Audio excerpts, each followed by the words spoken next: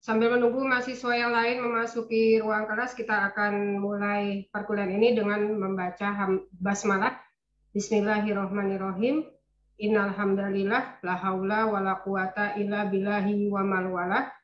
Asyhadu alla ilaha illallah wahdahu la syarikalah wa asyhadu anna Muhammadan abduhu wa rasuluh. Amma Assalamualaikum warahmatullahi wabarakatuh. Pertama-tama kita panjatkan rasa syukur serta puja dan puji hanya kehadirat Allah Subhanahu wa taala yang atas nikmat dan karunia-Nya kita bisa berjumpa lagi pada pagi yang cerah ini di mata kuliah Hukum Dagang pertemuan setelah uh, eh, UTS. Semoga perkuliahan hari ini berjalan lancar, tidak ada halangan apa pun termasuk kendala jaringan. Ya, kendala jaringan ini benar-benar menjadi apa ya? Benar-benar menjadi pokok masalah ya kalau tidak stabil jaringannya dalam perkuliahan daring seperti ini. Kemudian eh, kita tidak lupa untuk menyampaikan salam dan sholawat kepada satu-satunya manusia terbaik di muka bumi, satu-satunya Allah, satu-satunya manusia yang Allah perintahkan kita untuk mengikuti semua perilaku, akhlak dan adabnya. Nabi Allah Muhammad Shallallahu Alaihi Wasallam beserta keluarga dan para sahabat beliau.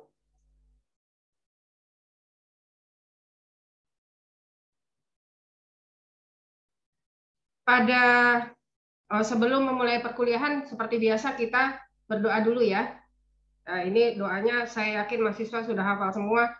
Selain karena memang dari kecil sudah diterapkan, doanya sudah dibaca setiap hari. Uh, selain itu juga dari awal perkuliahan, mulai dari hukum perdata 3, hukum internasional, sampai hukum dagang, uh, setiap kali ketemu saya, ataupun dengan dosen-dosen lain juga membaca doa ini ya. Jadi udah saya rasa udah hafal semua. Bismillahirrahmanirrahim. Allahumma ini as'aluka ilman nafi'an wa rizqan thayyiban wa amalan mutaqabbalan. Amin ya robbal alamin. Pada hari ini kita akan membahas materi tentang hukum dagang internasional yang sebelumnya kita sudah membahas tentang hukum dagang. Jadi hukum dagang internasional ini merupakan pembahasan lanjutan dari hukum dagang. Kalau hukum dagang ini kita berbicara uh, tentang transaksi dagang antar para pihak, ya sudah pasti penjual dan pembeli, ya. Yang para pihaknya ini tunduk pada hukum nasional yang sama. Misalnya penjual dan pembelinya sama-sama warga negara Indonesia atau penjual dan pembelinya meskipun sama uh, apa penjual pembelinya warga negara Indonesia dan transaksi dagangnya dilaksanakan di Indonesia gitu ya. Jadi ya berlakunya ya hukum dagang Indonesia. Namun dalam hukum dagang internasional ini berbeda sebab sangat besar kemungkinannya antara para pihak yang bertransaksi dagang berbeda ketertundukan hukumnya berbeda. Contoh misalnya dalam transaksi jual beli eh, apa pun bendanya ya, itu yang penjualnya di Amerika, pembelinya di Indonesia. Transaksi dagangnya dilakukan secara online, gitu ya. Nah ini menjadi sangat menarik. Bagaimana kalau terjadi wan prestasi salah satu pihaknya? Eh, contoh yang paling sederhana ya, misalnya uh, Tri Astuti beli sebuah buku misalnya ya, beli buku yang bukunya itu memang tidak ada di Indonesia, tapi bukunya buku penulisnya penulis asing gitu ya. Uh, Triasuti butuh buku itu untuk nulis skripsi di Indonesia nggak ada dia nyari di Amazon misalnya. Nah, di Amazon kan banyak buku-buku impor, kemudian yang berkenaan dengan skripsinya Tri Astuti misalnya ya. Tri Astuti beli di Amazon. Nah, Tri Astutinya kan warga negara Indonesia. Amazon adalah situs jual beli online berbadan hukum di Amerika. Transaksinya di mana? Online. Jadi transaksinya tidak dilakukan di Indonesia, juga tidak dilakukan di Amerika, dilakukan secara online. Nah, apabila terjadi sengketa, misalnya Triastuti sudah transfer uang, harga bukunya misalnya 200 dolar, udah transfer ke Amazon. Dalam perjanjian jual beli dinyatakan bahwa pada ini tergantung negaranya ya, eh, apa estimasi Eh, barang itu sampai di bandara atau di pelabuhan negara pembeli itu eh, bisa 14 sampai 20 hari misalnya. Tergantung eh, wilayah negaranya di mana gitu ya. Nah, itu. Ternyata udah 20 hari, bahkan sudah masuk 30 hari, barangnya nggak nyampe-nyampe. Nah, ini kan jadi masalah. Artinya, Amazon sudah one prestasi kan? Tri sebagai konsumen sudah bayar penuh. Amazon sebagai penjual akan baru memproses pengiriman barang kalau pembeli sudah bayar penuh. Gitu. Sementara pembeli nggak tahu apakah Amazon sudah memproses pengiriman atau belum. Itu walaupun biasanya kalau di websitenya Amazon itu bisa kita tracing ya, sedang dalam uh, proses uh, pemakingan misalnya. Sudah di sudah berada di uh, bandara mana misalnya di Amerika gitu ya. Nah sudah sampai di bandara mana di Indonesia? Uh, bandara penerima bandara pembeli gitu. Dalam perjalanan menuju alamat pembeli nah itu kita bisa tracing nah karena sesuatu dan lain hal yang pembeli nggak tahu, ternyata 30 hari berlalu, bukunya nggak datang-datang. Ya, apa pun alasannya,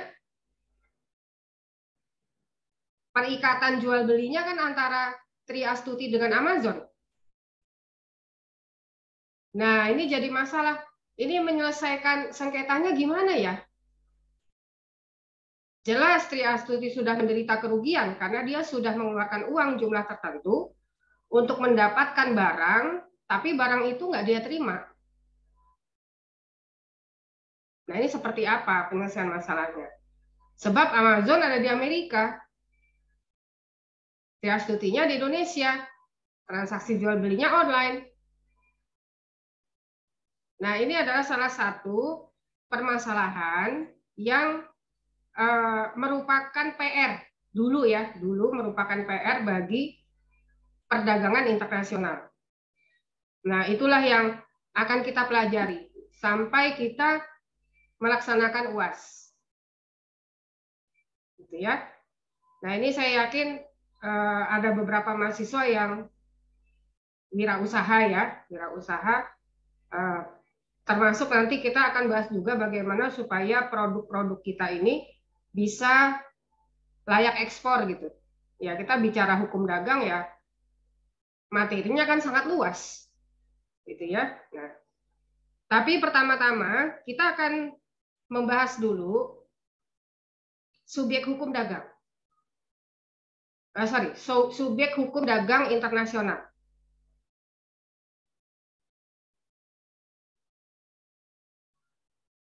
Uh, Sebetulnya hukum dagang internasional ini merupakan mata kuliah terpisah ya dari hukum dagang.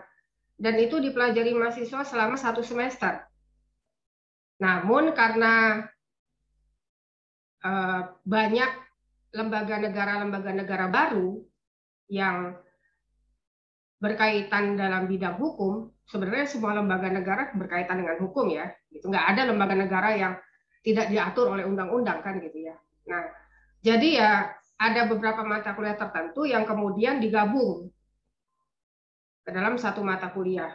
Nah, jadi uh, mahasiswa benar-benar di uh, diharapkan untuk proaktif uh, apa mencari sumber-sumber lain selain sumber dari kuliah. Karena ini kita belajarnya cuma sampai UAS. Nah, kalau dalam hukum dagang, subjek hukumnya adalah para pihak ya. Ya, para pihak itu kan penjual dan pembeli. Yang sebetulnya nggak sudah nggak relevan sudah tidak relevan lagi kalau subjek hukum dagang itu cuma penjual dan pembeli karena sudah berkembang demikian pesat sehingga transaksi dagang itu tidak hanya meliputi penjualan saja gitu ya tapi juga bisa sewa menyewa bahkan hutang hutang piutang pun sudah didagangkan sekarang jadi sudah tidak tepat lagi kalau subjek hukum dagang itu hanya penjual dan pembeli karena bisa juga eh, pemilik barang dan penyewa Nah, itu kan hukum dagang juga. Bahkan sekarang kreditur dan debitur juga termasuk subjek hukum dagang. Kalau perjanjian hutang piutangnya ditujukan untuk mencari keuntungan. Nah, ini kan uh, sudah kita bahas juga ya, bagaimana perjanjian hutang piutang dalam perspektif hukum negara dengan hukum Islam. Jelas kalau dalam hukum Islam perjanjian hutang piutang itu tidak boleh ada tambahan keuntungan. Tambahan keuntungan dalam perjanjian hutang piutang namanya riba. Nah ini nggak boleh diperangi Allah dan Rasulullah Shallallahu Alaihi Wasallam. Ya, ini udah kita bahas ya di apa pertemuan uh, sebelumnya. Nah, jadi jelas dalam hukum Islam bahwa perjanjian hutang piutang itu bukan Eh, bukan termasuk dalam ranah perdagangan, nggak ada dalam perniagaan Islam utang piutang itu eh, termasuk perdagangan, gitu ya. Kalau hukum negara ya dimungkinkan, sebab hutang piutang contoh dengan bank itu ya di dalamnya kan ada keuntungan yang diperoleh oleh pihak bank dari hutang itu, entah itu dari denda karena nasabahnya terlambat membayar entah itu dari bunga, walaupun nasabahnya tepat waktu membayar, tetap aja kena bunga, gitu kan? Atau misalnya dari penalti, sebab nasabahnya ingin membayar hutang sebelum jatuh tempo. Nah, ini kan keuntungan-keuntungan untuk bank. Bunga, denda, penalti. Nah, ini termasuk riba. Sebab dalam Islam dalam perjanjian hutang piutang dilarang ada penambahan keuntungan. Kenapa? Sebab perjanjian hutang piutang itu adalah akad sosial, bukan akad komersial. Adanya perjanjian hutang piutang dalam Islam uh, niatnya adalah untuk menolong, gitu kan? Nah, dalam sebuah pertolongan tidak boleh ada imbalan keuntungan. Ini dilarang dalam Islam. Bagaimana dengan perdagangan internasional? Ya, perdagangan internasional ini kan bu, tidak eh, pengaturannya bukan merujuk kepada Al-Quran dan hadis. Merujuk kepada kesepakatan negara-negara yang melakukan transaksi dagang lintas batas negara gitu ya.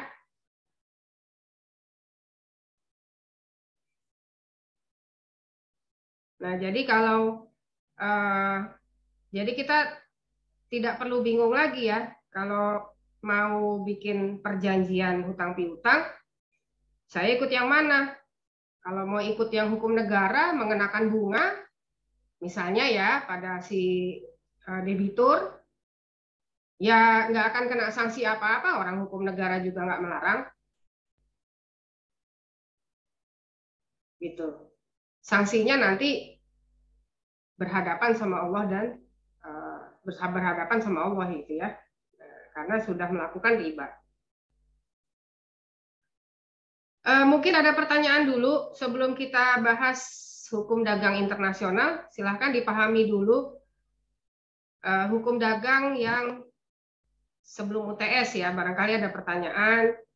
Ini kesempatan untuk memperdalam materi hukum dagang gitu. Silakan.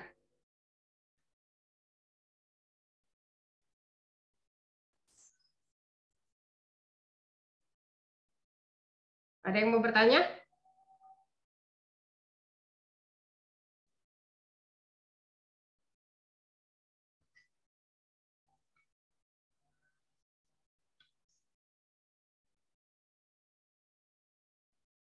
Saya minta tolong diaktifkan kameranya selama tiga menit mau saya foto untuk absen. Sekaligus saya mau ngecek uh, apa ada berapa mahasiswa yang benar-benar hadir di perkuliahan, gitu ya. Ini ada dua layar. Pertama layar pertama saya foto dulu, kemudian saya save di uh, WhatsApp uh, grup ya. Nanti baru saya absen. Oke, senyum semua. Satu, dua, tiga.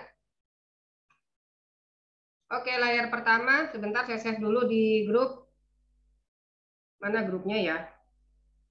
Hilang. Oh, ini ya, A35 ya.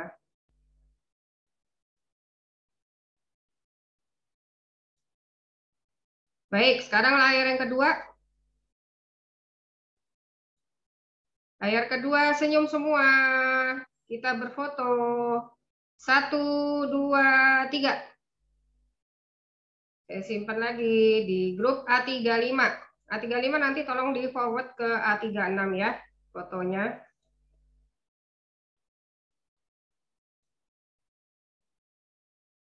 Ya. Nah, jadi nanti ketua kelas nggak usah repot-repot lagi ya, bikin bikin daftar kehadiran sekarang semuanya sudah uh, sudah uh, real. Saya foto aja tiap setiap kuliah ya seperti ini. Kemudian uh, tolong diingatkan kalau minggu depan saya lupa lupa moto gitu ya karena ini uh, berkaitan dengan absensi. Oke, bagi yang mahasiswa yang uh, apa tidak memungkinkan untuk on cam boleh dimatikan lagi.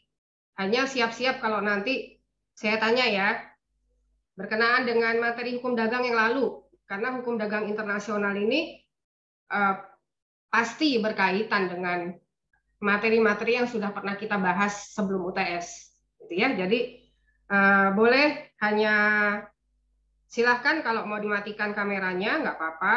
Asal asal nanti setiap pertanyaan yang saya ajukan secara random itu bisa menanggapi ya. Walaupun tanggapannya cuma ya seingatnya gitu ya. Karena udah berlalu dua minggu sejak perkuliahan terakhir ini pasti sudah banyak yang lupa gitu ya nah oke kita lanjutkan. Waduh ini yang baru datang nggak ke foto ya? Ya udah nanti akhir perkuliahan saya foto lagi ya biar yang terlambat hadir ikut ke foto jadi bisa ikut terabsen. Yang sama sekali tidak bisa hadir di pagi hari ini bisa ikut kuliah di malam hari, masih ada kesempatan untuk eh, apa mendapatkan materi ya di malam hari. Atau kalaupun tidak bisa sama sekali nanti bisa absennya lewat link komen di YouTube ya. Nanti perkuliahannya akan saya upload di YouTube. Ya kalau di perkuliahan sekarang nggak bisa hadir, malam tidak hadir, di YouTube tidak absen, ya udah berarti kosong ya absennya ya. Ya baik, hukum dagang internasional terbit atau muncul atau lahir karena adanya permasalahan-permasalahan yang dihadapi oleh negara-negara dalam melaksanakan perdagangan lintas batas negara. Contoh misalnya, kalau Indonesia mengadakan perdagangan lintas batas negara dengan Amerika misalnya, atau dengan negara-negara lain, dengan Prancis, dengan Inggris, dengan Cina, gitu. Permasalahan yang muncul adalah itu bisa sangat banyak complicated, rumit gitu ya. Misalnya dalam hal metode angkutannya. Nah, ini metode alat angkutnya itu menggunakan apa? Apakah pakai kapal laut atau pesawat udara atau cukup lewat jalan darat? Itu siapa yang menentukan? Apakah Indonesia atau Amerika? Apakah eksportir atau importir yang menentukan alat angkut? Ini satu masalah. Masalah yang kedua, metode pembayarannya dengan apa? Apakah cash, transfer, pakai LC, letter of credit, atau misalnya eh, pakai metode cara yang lain pembayarannya. Nah ini mau seperti apa? Karena bisa jadi eksportir maunya pakai LC, importir maunya uh, kredit gitu ya nah ini kan nggak ketemu kesepakatannya jadinya nanti perdagangannya bisa nggak jadi nah kalau nggak jadi kan berarti timbullah kerugian-kerugian kenapa karena memang tujuan melakukan perdagangan kan tujuannya mencari keuntungan gitu kan Eh, masalah yang lain nih mata uang apa yang digunakan nih? Kalau Indonesia bertransaksi dagang dengan Amerika. Nah, mata uangnya mata uang apa? Apakah mau rupiah atau dolar atau boleh nggak pakai mata kuliah mata uh, uang yang lain? Nggak pakai rupiah, nggak pakai dolar, pakai pound sterling misalnya. Nah, ini jadi masalah juga. Nah, Masalah yang lain, ini kalau salah satunya wan prestasi, wan prestasi tidak memenuhi janji ya, seperti yang dialami Tri Astuti ketika beli buku dari Amazon, udah 30 hari berlalu, bukunya nggak datang-datang, padahal Tri udah bayar. Nah ini menyelesaikan sengketanya gimana? Ya sama ini negara-negara, ini kalau ada sengketa Indonesia dengan Amerika ada sengketa dagang. Loh, penyelesaiannya di mana? Pakai pengadilan mana? Pengadilan Indonesia? Pengadilan Amerika? Atau bisa nggak biar netral? Nggak ke Indonesia, nggak ke pengadilan Amerika. Pengadilan uh, yang lain, Belanda misalnya, gitu ya. Nah ini jadi masalah. Nah, negara-negara menyadari bahwa permasalahan-permasalahan ini adalah beban mereka bersama yang harus diselesaikan bersama-sama. Kenapa? Karena menyangkut kepentingan perdagangan negara-negara. Nah, untuk menyelesaikan masalah-masalah ini, selain masalah-masalah yang tadi kita bahas, juga masih banyak alasan-alasan yang lain ya. Kenapa kemudian negara uh, duduk bersama dalam sebuah konferensi internasional, merumuskan aturan-aturan dagang bersama-sama, gitu ya. Bersama-sama merumuskan sanksi-sanksi apa kalau ada negara yang nggak patuh. Nah, jadi uh, negara berkepentingan untuk menyelesaikan permasalahan-permasalahan di antara mereka sendiri dalam hal perdagangan lintas batas negara. Jadi negara-negara ini kalau menemukan masalah yang masalahnya global ya, menyangkut negara lain, ya mau nggak mau kan duduk bersama. Ini baru dalam hal perdagangan loh. Masih banyak hal lain. Misalnya pencemaran limbah. Ini gimana nih kalau ada eh, pembakaran hutan di Riau, asapnya sampai ke Malaysia, ke Singapura. Misalnya ya, gitu. Eh, sama ini sampai ke Malaysia kan. Sehingga rakyat Malaysia itu menderita infeksi saluran pernafasan akut. Wah, ini gimana nih? Sudah merugikan loh, sudah merugikan orang lain ya, merugikan kesehatan orang lain. Nah kan berarti kan Indonesia melakukan perbuatan melawan hukum tuh sebetulnya. Cuman apakah negara ini bisa di pidana, gitu kan? Ya kan nggak bisa mempidana negara. Bagaimana menyelesaikan sengketanya nih? Tahun 2000 berapa ya lupa saya? 2012 atau 2013 nanti mahasiswa bisa browsing ya. Untuk precisely uh, tahunnya ya kejadiannya kapan. Itu kan Presiden Barack Obama batal datang ke Indonesia. Kenapa? Karena di saat dia mau ke Indonesia bertepatan dengan kapal tanker minyak Amerika itu bocor tumpah di perairan Meksiko. Sehingga menyebabkan biota laut mati di perairan Meksiko. Ikan-ikan mati, terumbu karang mati. Terumbu karang ini kan makanannya ikan-ikan dan ikan kecil. Di dalam terumbu karang kan ada plankton. Inilah yang jadi makan ikan-ikan kecil. Lah ikan-ikan kecil ini kan makanannya ikan besar. Ini kan rantai makanan di laut.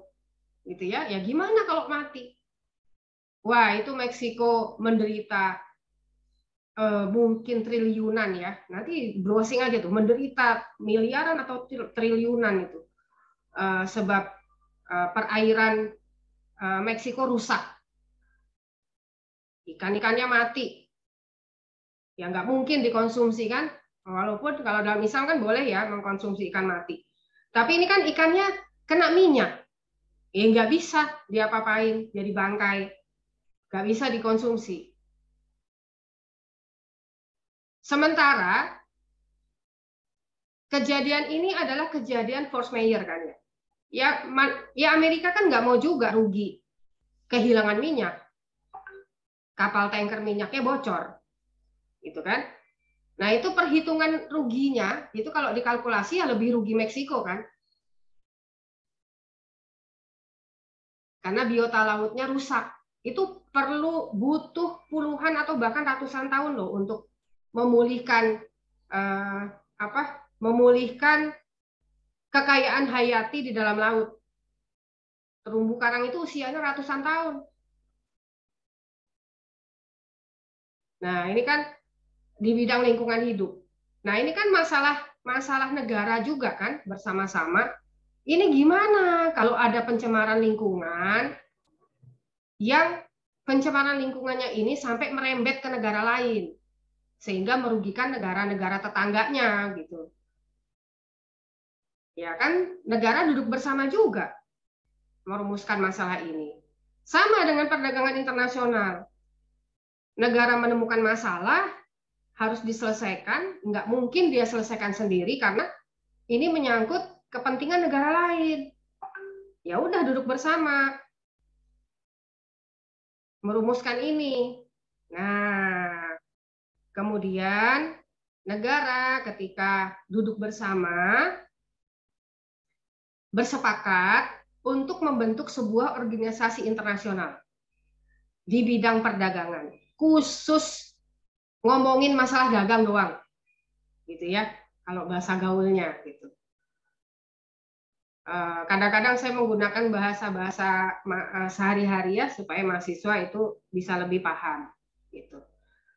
Nah negara kemudian bersepakat ayo kita harus bikin nih organisasi internasional yang anggotanya ya negara-negara juga gitu ya di bidang apa yang sedang jadi masalah kita sekarang.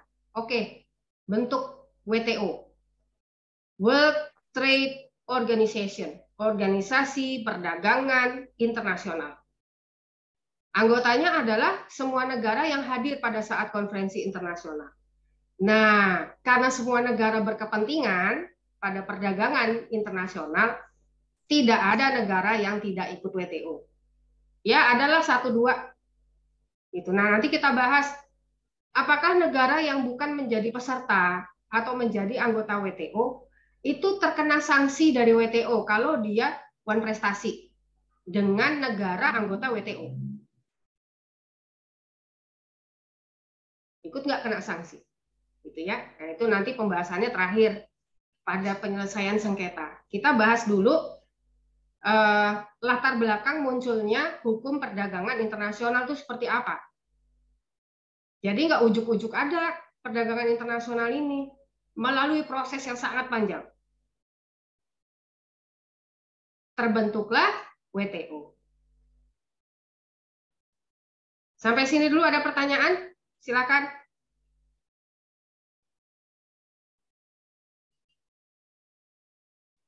Nggak ada.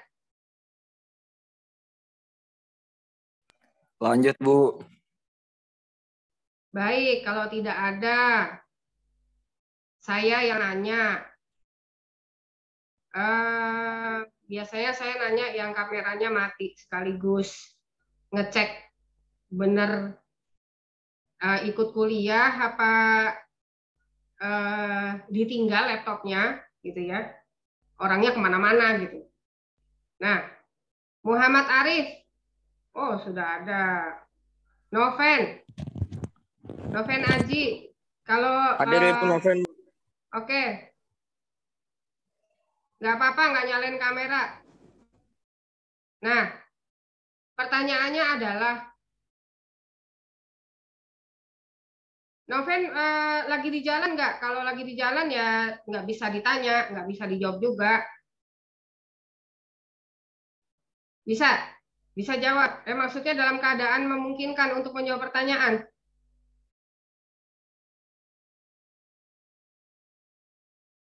Ya, nggak apa-apa Ibnu. Oke, oke.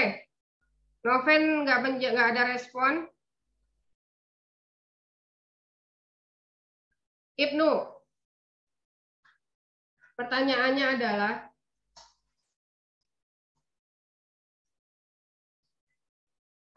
Eh, kenapa negara-negara merasa perlu untuk berkumpul bersama membahas atau merumuskan peraturan-peraturan dalam perdagangan internasional.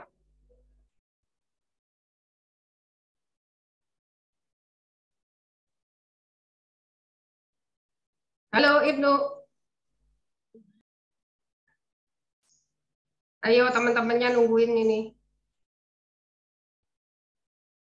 Yang lain.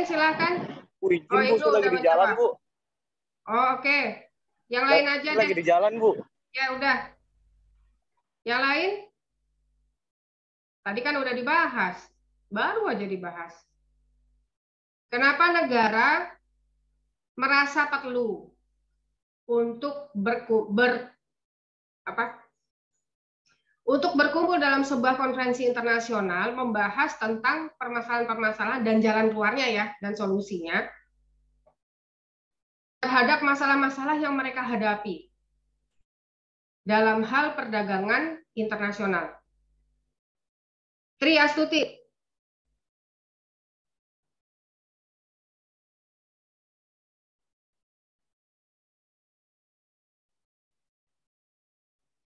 Halo? Suara saya kedengeran nggak ya? Iya, Bu. Kedengeran, Bu. Kedengeran. Iya, Tri, coba. Kenapa?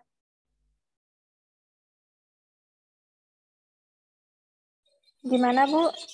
Waduh, nggak dengar berarti ya.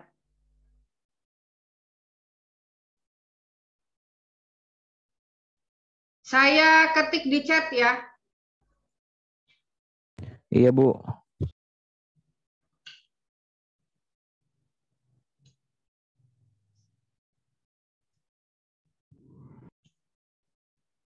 Mengapa negara-negara merasa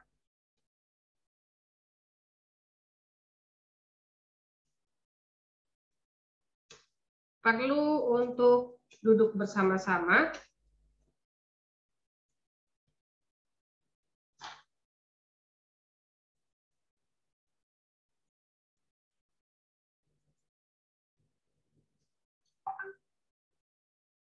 Lalu untuk duduk bersama-sama dalam sebuah konferensi internasional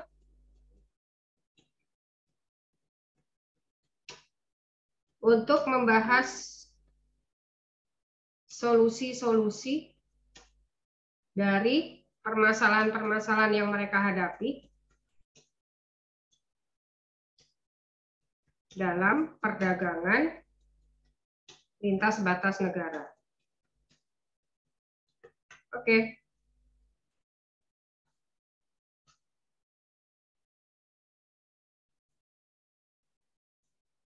Waktunya sudah hampir habis. Nanti kita ketemu lagi di link yang berikutnya. Silakan Triastuti, udah bisa dibaca chatnya.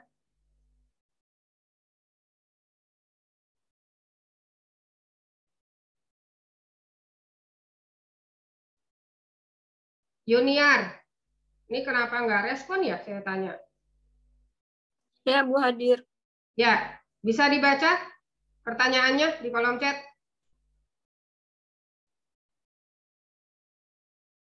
Bisa, Bu. Oke, dinantikan jawabannya.